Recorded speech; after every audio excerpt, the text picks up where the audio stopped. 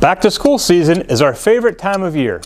We had an electric all-staff kickoff at Lakota East this year, and our students' staggered start gave staff time to ramp up and really get to know their kids.